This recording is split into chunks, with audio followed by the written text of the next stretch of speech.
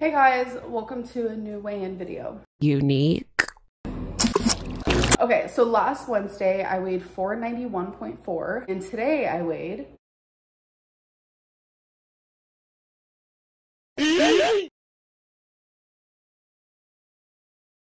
So that means this week I'm down one pound exactly, and that brings my total weight loss to 82 pounds.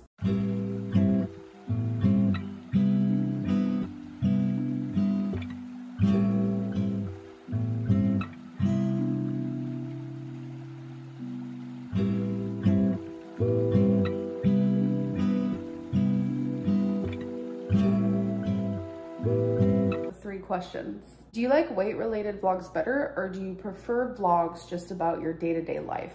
Honestly, I don't prefer one over the other. I will say weight related content a lot easier for me to film because it's a big portion of my life right now.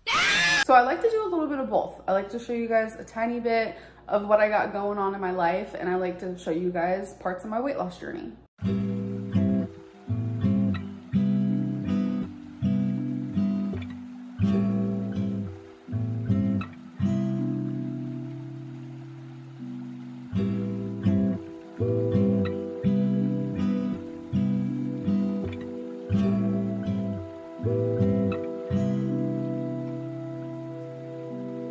Have you ever lied to us about your weight? Next question. Have you ever lied to us about your weight? Next question. Have you ever lied to us about your weight? Six years ago, I did. Um, my weight, I wouldn't say I've lied to you guys per se about it, but I definitely haven't been like very into like telling you guys my weight. Um, I'm fluctuating a lot.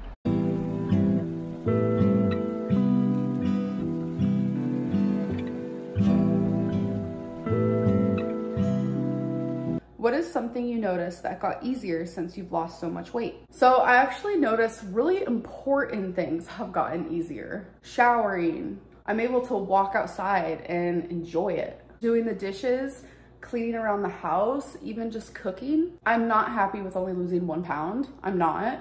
It's just last week I did order takeout a few too many times. There was alcohol involved. I don't really drink alcohol. It's very rare but I kind of just wanted to feel tipsy.